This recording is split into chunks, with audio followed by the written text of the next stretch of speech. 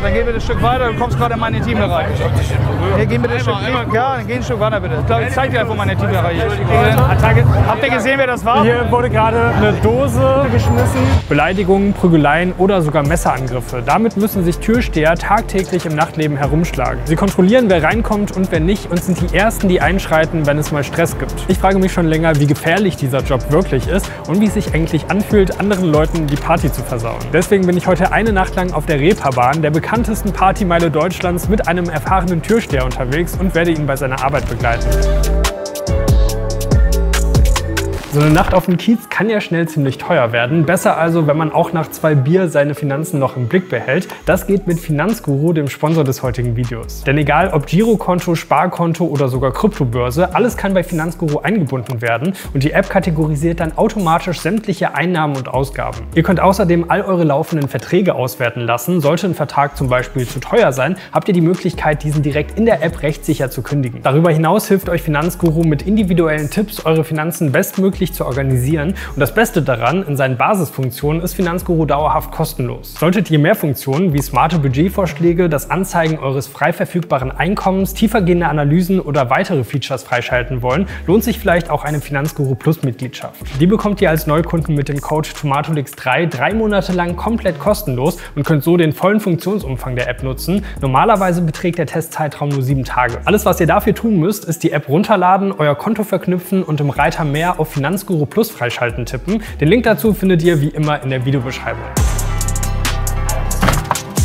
Felix. Moin, hi, Tag. Moin, Grüße. Dennis, du bist also Türsteher. Wie lange machst du den Job schon? Jetzt gute 28 Jahre. Überwiegend in Kiez und seit 26 Jahren fast tatsächlich ausschließlich nur in der großen Freiheit hier, wo wir uns gerade befinden. Was steht heute so an? Wir passen auf, dass das richtige Partyvolk hier reinkommt. Wir wollen fröhliche, nette Gäste haben. Danach sortieren wir auch. Du wirst es merken, wenn Leute dir so ein bisschen suspekt vorkommen, dann merkst du es selber und dann musst du schon für dich entscheiden auch. Ist das einer für unseren Laden oder ist das keiner für den Laden? Wir gucken stichprobenartig immer mal in Taschen, ob selbst mitgebrachte Getränke dabei sind. Vielleicht auch mal Waffen oder ein Pfeffergas. Das ist ja grundsätzlich hier verboten. Wir haben hier das Waffenverbotsgesetz tatsächlich auf dem Kiez. Ähm, also Schusswaffen, Stichwaffen, Schlagwaffen, Reizgas, Sprühgeräte. Alles verboten. Und du wirst schon ordentlich was zu tun haben heute. Das will ich dir schon zeigen. Okay. Das ist unser Eingangsbereich. Ich sehe hier Schild Zutritt erst ab 18. Das heißt, ist unser Job heute auch Ausweiskontrollen machen? Ausweiskontrollen auch. Wir sind halt eine Raucherbar. Das Nichtraucherschutzgesetz sagt halt auch erst ab 18 Jahren. Deshalb dürfen wir unter 18 gar nicht reinlassen. Was sind so die Hauptgründe, dass du Leute hier nicht reinlässt? Also wenn die zu, zu viel konsumiert haben. Nicht nur Alkohol, manchmal Ja. siehst du auch, sind die auf Drogen. Ich habe selber viel konsumiert früher. Das heißt also, ich weiß auch, wie man sich verhält. Wie viele Leute passen so in den Laden? Wie viele können wir reinlassen? 100, 120 Leute, dann ist der Laden brechen voll da drin. Ne?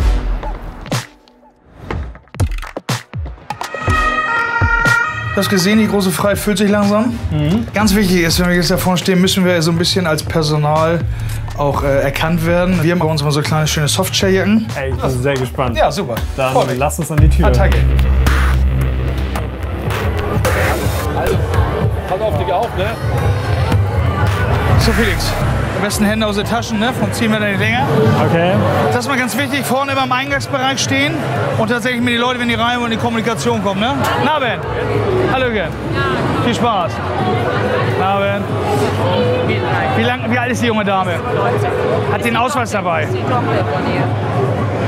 Mein Job, mein Ausweis leider vergessen. Ja, es tut mir leider leid. Du siehst halt noch sehr jung aus. Und 20. Das, aber das kann sie ja gerade nicht nachweisen. Wir dürfen uns nicht böse sein. Wir sind eine Raucherbar. Wir dürfen halt immer erst ab 18 reinlassen. Wenn sie ihn nicht ausweisen kann, ist es für uns schwierig. Du müsst ja Verständnis für haben. Tut mir leid. Siehst du, die haben es versucht. Ne? Keine, ich, ich behaupte, sie ja, sah aus wie über 18, aber hätte auch locker unter 18 sein können. Wie ist das denn? Äh, sollte man als Türsteher auch besonders gefährlich aussehen? Ich glaube, wenn du in bestimmten Clubs arbeitest, ist es immer ganz gut, wenn man auch ein bisschen gefährlich aussehen tut. So. Aber grundsätzlich nicht. Ich glaube, es ist wichtig, dass du gut mit den Gästen umgehen kannst. Ne? Das ist das Wichtige. Also wie gehe ich mit den Gästen um? Wie präsentiere ich mich? Lass ich mir nicht die Wurst vom Teller nehmen. Weißt du, nicht der dominiert den Laden, sondern du dominierst den Laden. Wie hast du das dann gelernt? Im Laufe der Zeit wird man dann immer besser Das sind? Erfahrungswerte tatsächlich über 28. Ich habe wirklich alte gute Türsteherjungs an der Seite gehabt, wo ich das alles gelernt habe. Auch wirklich so dieses alleine an der Tür arbeiten ist gar nicht so ohne. Ne? Ähm, und das wirklich mal durchzusetzen. Und wie ich angefangen habe bei der Tür, haben mich Leute böse angeguckt. Na ja, geht mal rein, geht mal rein. Mittlerweile das jetzt nicht mehr machen. Hallo, Nabe. Ihr wollt gerne rein? Ja. guten Abend, hallo. Ja, guck mal, geht doch. So, klappt doch wunderbar. Super, schön. Mal lass den Kollegen mal reingucken. Ja, ein riesen Fallschirm aus. mit, ne? Genau. Hast du Angst, dass es verloren geht? Alles. Komm gerne rein. Viel Spaß. Kannst auch, wenn du dir unsicher bist bei Leuten, wenn die weite Taschen haben oder so, kannst du auch hoch rangreifen. Ne? Nicht in die Taschen greifen, nicht, dass sie auch mal verletzt sind irgendwas. Auch von außen kann man immer abtasten, gucken. In anderen Läden zum Beispiel, wo du ein bisschen härteres Publikum hast, so Black Music Läden, so, da wird auch richtig abgetastet mit. Dann wird oben geguckt, an den Seiten geguckt. Das sind auch Frauen. Nach, nach Waffen oder was? was Genau, man da? Waffen, Schlaggegenstände, Messer. Ne? Ist halt verboten, aber es gibt viele, die sowas mitschleppen. Ne?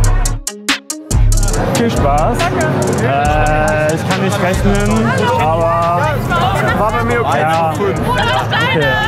Dann äh, viel Spaß. Du hast getrunken, ne? Eigentlich sind wir ganz lieb. Ja, einige, aber du machst schon einen sehr angetrunkenen Eindruck. Also bei dem Wetter soll man viel Wasser trinken. Ja, du, du schwankst ja die ganze Zeit, sehe ich gerade. Das ist, ja nicht, ist nicht böse gemeint, das ist auch nicht gefeiert, auch nicht, soll ja auch so sein. Wenn ihr jetzt reingeht, tu mir einen Gefallen, bitte nicht mehr so viel trinken. Nee, ja, klar. Gut. Bitte auch einhalten, ne? Ich guck gleich und sonst müssen wir dich rausholen. Erstmal Wasser trinken, ne? Sei ein bisschen vorsichtig. Machen wir.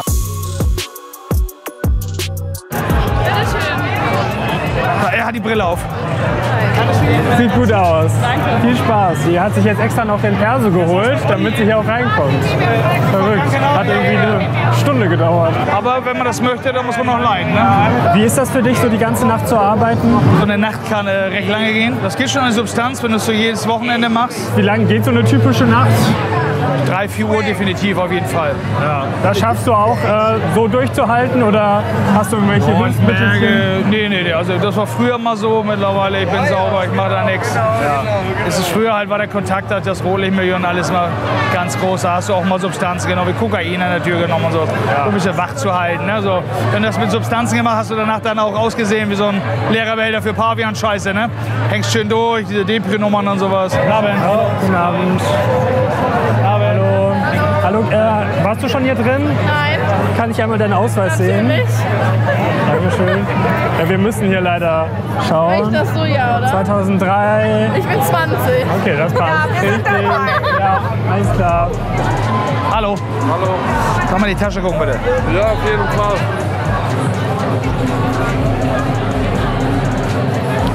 Ist nur Geld? Alles klar. Viel Spaß. Schon komisch gewesen, wenn er Sachen so rausholt, in der Hand versteckt. Kann auch sein, dass er einen Beutel Gras hat. Ist mir egal, sollen ja gerne ihre Drogen konsumieren, aber nicht im Laden halt. Ne? Würdest du jetzt jemandem Drogen äh, abnehmen oder den, äh, den Ein Ich würde Einlass? wegschicken. Ich würde die wegschicken. Ich würde ihn nicht annehmen, weil dann machst du, bist du selber auch mal im Besitz. Machst dich strafbar. Ne? Wenn jemand ein Messer dabei hat, auch so, wenn ich sage, hier, wenn ich reingehe, mal das Messer, nee, will ich nichts mit zu tun haben. Pack das woanders hin, aber nicht hier bei uns im Laden. Was muss man denn als Türsteher so rechtlich beachten? Ja, dass du die Schwelle nicht überschreitest und Körperverletzungen begehst. Keine Anmaßung, ne? also so äh, zu dich irgendwo rangehen, Leute betatscht oder sowas. Ne? Das mal ganz wichtig, dass du ungefähr weißt, wo sind deine Grenzen. Wie ich vorhin sagte, nicht in die Tasche greifen, nicht irgendwo Frauen unsittlich berühren und sowas. Ne? Auch Männer nicht, ne? also das ist auch ein No-Go. Grapschst sie an, mach ich das mit den Handflächen, vorsichtig. Alles klar. Die Taschen dabei, genau, einmal reingucken. Ja, ne? Super, reicht mir schon. Viel Spaß, ja, alles gut. Doch, von Weitem, natürlich. Ich hab doch gesehen. Natürlich, aber das ist ja nicht aufgeräumt. Was soll ich denn da finden? Attacke, alles gut, viel Spaß. Reicht mir schon. Die Trägerin, Attacke. Hey, Digga. Ich hab so gar nichts gemacht, aber danke, dass ich so diesen Energy Drink oder sowas abbekommen hab. Habt ihr gesehen, wer das war? Wer das war? Ich glaube da vorne. Ja, da war so ein Typ mit etwas längeren Haaren. Ich glaube, der war das. Digga, ich bin komplett nass. Holy shit. Also hier wurde gerade eine Dose auf andere Leute geschmissen, aber man hat leider nicht gesehen, wer das war. Es ist auf jeden Fall sehr hektisch und stressig hier. Ich weiß nicht, ob das ein Job für mich wäre Dauer. Hat auch immer so eine Gefahr, dass aus der Menge was geflogen kommt, wenn du Leute abgewiesen hast. So, ist immer. Wenn es so voll ist, das siehst du mal nicht, ne? Schon nach 1 Uhr Zeit, mal eine kleine Pause zu machen. Ja, setz dich. Unsere schönen Dachterrasse. Es ist immer viel wert, wenn du so eine kleine Ruheecken hast, wo du mal kurz runterfahren kannst. Was würdest du sagen, wie schlage ich mich bisher? Oh, bis jetzt so ganz gut, ne? Bist locker im Kontakt mit den Leuten. Macht dir auch Spaß? Ist schon cool, aber ist auf jeden Fall anstrengender, als ich gedacht habe. Bin jetzt schon, schon komplett fertig eigentlich. Das glaube ich. Und die Nacht ist noch nicht vorbei. Kannst du mal erzählen, was für Gefahren so mit deinem Job mit sich kommen? Ja, die Gefahren, die, die dieser Job mit sich bringt, sind einmal die Leute, die du draußen lässt, die sich dann gekränkt fühlen. Es kann sein, wir haben das vorhin gesehen, es kam auf einmal ein Wurfgeschoss. Du kannst haben, wenn du abends Feierabend machst, dass die Leute irgendwo auflauern. Es gibt, glaube ich, alle Facetten, die da genutzt werden. Deshalb muss man sich immer so neutral wie möglich verhalten. Immer nett sein zu den Leuten, nett lachen. Am Kopf kann man sich was anderes denken, aber einfach die Freundlichkeit bewahren. Was würdest du sagen, äh, was sollte man sonst mitbringen so als Türsteher? Empathie finde ich ganz wichtig. Ähm, Mut, Angst darf man auch mitbringen. Also ich finde, eine gesunde Angst ist auch mal ganz wichtig. Situation genau einzuschätzen, nicht einfach blind irgendwo reinzulaufen, sondern zu gucken, bringe ich mich selber in Gefahr. Wurdest du schon mal während deiner Arbeit angegriffen oder sogar verletzt? Ja, mir hat mal einer eine Dose Bier an den Kopf gehauen. Ich habe den abgewiesen und der war tierisch sauer und ich habe mich dann ablenken lassen. Und dann kam er von der Seite und hat mir dann so, so eine halbvolle Bierdose so von der Seite in den Kopf geschlagen. Hast du denn irgendwie zwischendurch auch mal Angst, dass du mit irgendwelchen Waffen angegriffen werden könntest? Also irgendwie ein Messer oder sowas? Früher habe ich tatsächlich mit einer schusssicheren Weste gearbeitet. Handschuhe hier, dass man mal Handschuhe anhat. Aber sonst habt ihr ja eigentlich nicht so an äh, Ausrüstung irgendwie Wir noch. befinden uns hier in der Waffenverbotszone. Ja, das heißt, ihr dürft auch nichts tragen. Genau, wenn die Polizei kommt oder eine Kontrolle und hast irgendwas. Es gibt so Tricks, dass du dann halt eine Rolle Papier in der Hand hast oder hier ein Flaschenöffner ist nicht verboten. Aber dann merkst du, drückst du, tust du schon weh, ne? So, Ja, kannst du, unangenehm. wenn du da oben irgendwo ansetzt, so, dann ist das schon, dass es ein bisschen unangenehm ist. Und dann kannst du auf Druckpunkte einwirken und dann lassen die Leute mal los. Wie ist das so? Was verdient man als Türsteher eigentlich? Tick mehr wie Mindestlohn. Es kommt immer darauf an, welche Location, was du selber für einen Stundensatz aufrufst, was der Clubbetreiber nur ausgeben möchte. Ne? Ich sag mal, es ist immer so eine Marge bei vielen zwischen 15 und 25 Euro die Stunde. Seht ihr das? Da hinten blinken die jetzt, das heißt, sie rufen Polizei. Jetzt kommen die Jungs da angerannt eigentlich. Also da vorne scheint es anscheinend Stress zu geben. Also man sieht, die ganzen Leute leuchten mit ihren Taschenlampen. Das heißt, jetzt gibt es hier Action. Lass ein Stück weitergehen, danke. Auch wenn die Polizei kommt, ist es halt eine andere Nummer. Ja, geh mal ein bisschen weiter bitte. Kannst mich gerne befragen. Nee, ich wollte nicht Erstmal hier. Ja, dann geh bitte ein Stück weiter. Du kommst gerade in meinen Intimbereich. Tu mir den Gefallen. Ich hab dich nicht berührt. Ja, geh bitte ein Stück, ja, dann geh ein Stück weiter bitte. Tu mir den Gefallen. Ey, Teambereich. Ja, geh dann, da, das glaub ich, zeigt dir einfach meine Intimbereich. Ja, nimm mir bitte mit, Alter. Das sind immer so die Leute, da habe ich das Gefühl, die kommen hier nach Hamburg gereist. Halt, Erzähl dir, erst mal hier. Die kommen wahrscheinlich mit der Bahn hier an. Na, wenn? Klappen den Kopf auf und legen ihr Gehirn irgendwo oder Rhododendronbusch und marschieren dann wie so eine Flachzange über den Kiez. Und so hast du immer ganz oft. Da musst du ruhig bleiben. Früher hätte ich ihm in den Backpfeife gehauen. Ja, äh, wirklich? Früher da hätte ich die lang gefackelt. Direkt gleich eine Pflichtschelle. Also das Problem, das sind die, ne? Heutzutage hat jeder ein Handy in der Hand. Das heißt, die filmen die sofort und aber früher direkt. Das ist der Grund, warum man vorsichtiger ist, weil das gefilmt werden könnte. Nö, mittlerweile ich bin älter geworden. Ne? Ich bin, was, ich habe früher will ich äh, alle drei Monate war ich mit der Wache eine Aussage schreiben, irgendwie beim Rechtsanwalt sitzen, weißt du, weil ich mich wieder vertreten lassen musste. Jo, war drin, alles gut. Und mittlerweile, ich mache halt viel mit Kommunikation. Ich weiß, ich komme mit Kommunikation weiter, als wenn ich jemanden im, Bugs hau. Manchmal ist es so, manchmal brauchen die es tatsächlich so. Aber äh, ganz entspannt. Wie regelmäßig kommt das vor, dass es da auch mal zu Handgreiflichkeiten kommt?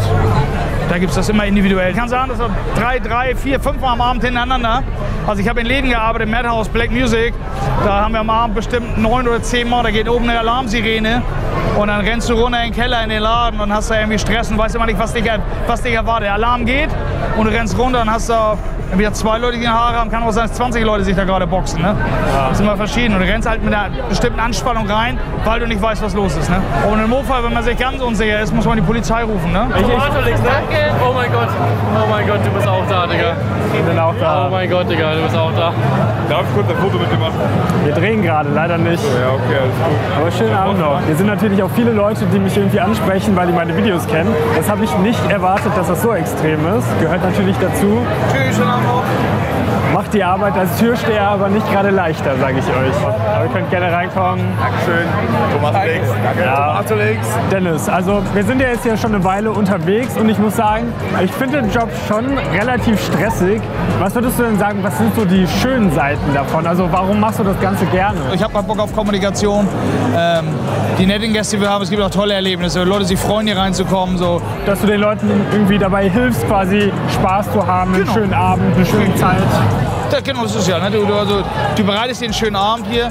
Sie sind sich, sicher in so einem Laden, müssen keine Angst haben, dass sie überfallen werden oder im Kopf kriegen oder sowas. Ne?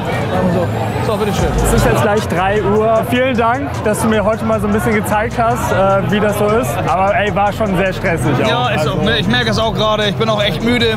Ich mache mich jetzt auf jeden Fall auf den Weg. Vielen Dank. Damit geht meine Nacht als Türsteher zu Ende. Es war echt richtig anstrengend. Also nicht nur, weil ich jetzt irgendwie lange wach sein musste, sondern weil man auch irgendwie die ganze Zeit mit Betrunkenen zu tun hat, es super laut ist. Das ist wirklich nicht ohne. Also ich habe großen Respekt vor Dennis und allen anderen, die das regelmäßig machen. Schreibt mir gerne mal in die Kommentare, ob das Ganze was für euch wäre. Hier geht es zu einem weiteren Video von mir und abonniert den Kanal, um keine Videos mehr zu verpassen. Bis zum nächsten Mal.